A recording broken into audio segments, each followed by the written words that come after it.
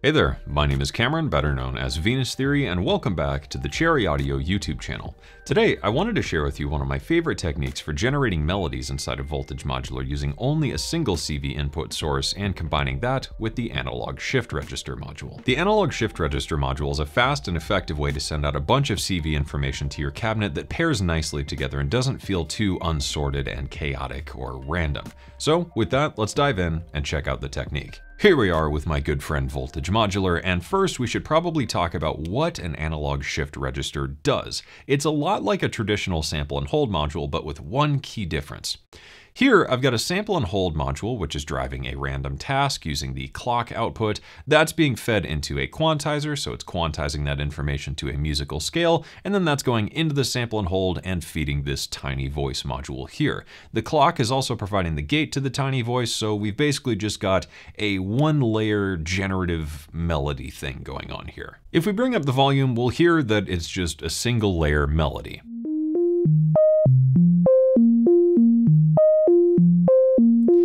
Now, that's not all that impressive, and from here, in order to create multiple layers to this, we would need to start duplicating sample and holds and random tasks and getting things to feel different from each other, because if we sent the same information out to the other tiny voice modules here, we're just gonna get the same thing over and over.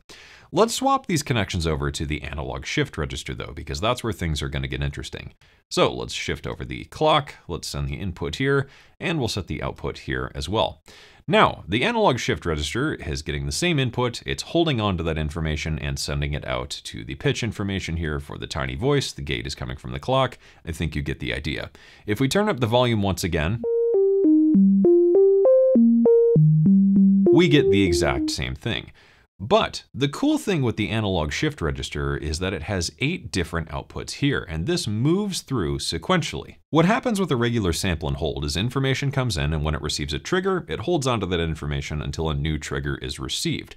With the analog shift register, whenever a new trigger is received, the information rotates down by one. So one goes to two, two goes to three, and so on. So on each cycle, one is something new, and that new information gets passed through until it goes to eight, where it disappears into the void forever. If that doesn't make a whole lot of sense, it'll start making sense now when we bring in this second tiny voice module.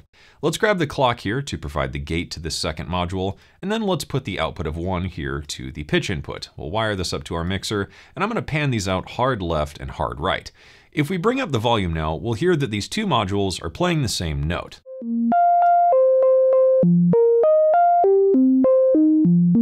However, if we go back to the analog shift register and we shift the CV pitch information to the second tiny voice by one, we'll hear almost like a delay effect.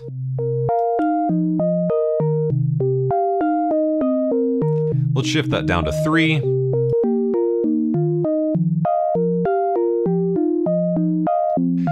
And I think you get the idea. By using the different outputs, we get a delayed replica of that signal, and we can use this to create some cool melodies that pair nicely together because we're getting notes that were previously echoed and it feels a bit more musical rather than just totally random. To cap this idea off, let's bring in a third tiny voice module here, and let's grab the CV information from 7, feed that into the pitch, let's grab the clock to provide the gate, and let's send that to our mixer as well, and just pan these out a little bit.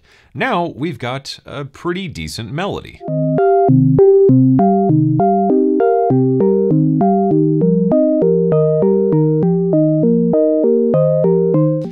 The beauty of the analog shift register, though, is that this isn't just pitch information coming out of here. It's CV, and CV can control anything because we have the power of modular on our side.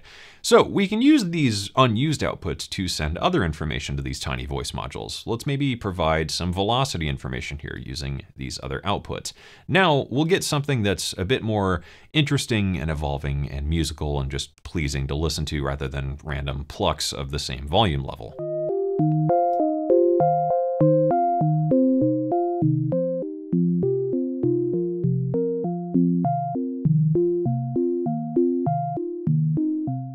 From here, there are a ton of different ways you could expand off of this idea, but one of my favorite ways is to bring in a clock divider here. So we're going to send the clock output of the analog shift register into the clock divider, and because this is normal, we don't need to connect it again. It's just gonna pass that through as long as the input link is activated here. Now, I've got a couple more sample and holds, and we're going to do two different things here with these modules. First up, we're gonna send the pitch information to the sample and hold. So let's grab the output of three to this sample and hold and the output of seven to this sample and hold. Now I've got the clock of the top layer here feeding into this first sample and hold and the second layer going to this second sample and hold. Let's feed the output here to the pitch of the second tiny voice and the output here to the third tiny voice. Now we'll grab the gate information because this is driving this sample and hold, which feeds the second tiny voice. And we'll do the same here, grab the gate from this lower layer. And if we bring up the volume,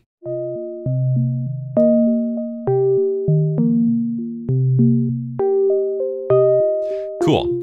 To finalize this idea here, let's cross the wires a little bit with the velocity. This sample and hold is feeding the second tiny voice, so let's grab the output of that and use that to provide velocity to the third tiny voice. And then we'll cross back over here for the second tiny voice, we'll get the output of this sample and hold, which is driving the pitch information of the third tiny voice. And that gives us something a lot more interesting to listen to because we're not getting just continuous pings. By bringing in the clock divider, we've got something a bit more rhythmic and moving and interesting.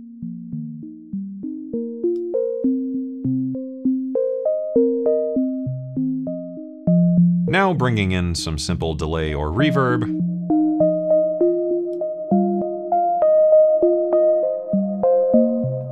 We've got a beautiful melodic sequence that is a great start to a big generative patch or just something to start drawing inspiration from for your next track. The analog shift register module is one of those deceptively simple modules. It might not seem like much, but with a few clever connections, it can be pretty powerful and be a great way to wake up your cabinet and explore some new ideas inside of Voltage Modular. Thank you for watching, I hope you enjoyed it, and hopefully this gives you some ideas to explore inside of your own cabinets.